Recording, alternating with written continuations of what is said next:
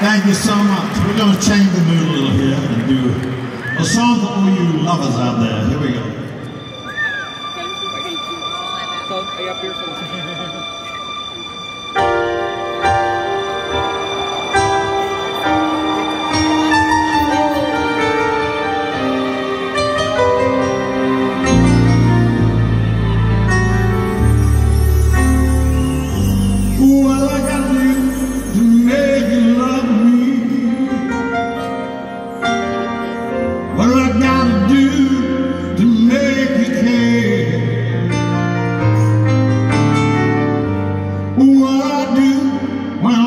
distract me.